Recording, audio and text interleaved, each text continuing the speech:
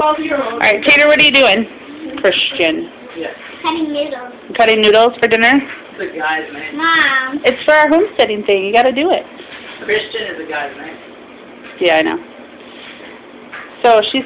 I think there's something on here. Let me wipe it off real quick. No, I was telling her. oh. Because the way she told me it was a boy's name, like it was supposed to be a girl's name. Oh, okay. All right, so Tate is cutting the pasta. This is another rolled up piece here she's going to be cutting. She's doing a good job. And, uh, you're not doing a good job? So you want to tell them the steps of things we've done today? What have we done so far?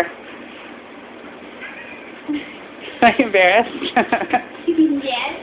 okay, well just tell me anyway. So what did we do so far? We added flour to the counter in a big heap. And then we put four eggs in it. Four eggs. four eggs, and a little bit of salt, and then we mixed it up with our hands, which are still very messy. And then um, after we mixed it with our hands, we made it into a big ball and cut it into, what, five pieces, Kate? Five. No.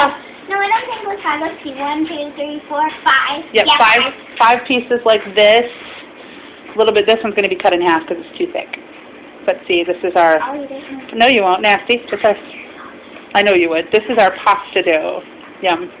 And we roll it out wooden rolling pin covered in flour, counter covered in flour, and then Tater cutting the noodles. She did roll out the first set, which there's some noodles right there. You have to make sure you let them dry before you uh, put them in water. So, how you doing, Tate? You think those are too thick? Yeah. Oh. That's why I'm doing another layer. Oh, okay, so she's got it done. She's using a pizza cutter. We don't have any pasta machines, so we technically need to do it all by hand. Oh. Hey.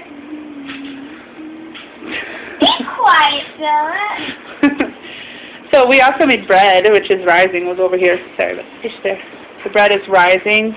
This one right here, with all the lumps and bumps, is Tate's, and this is mine that she twisted because she didn't want them to not match. So that's our our bread.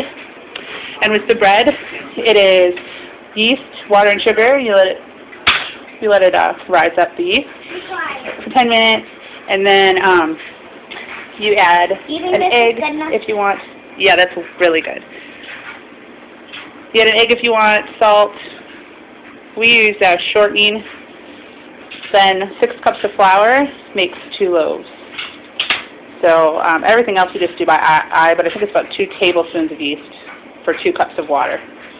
So we do it a lot. And the oven is 350. Now these will just go into boiling water when they're dried out a little bit, and when they float to the top, they're done.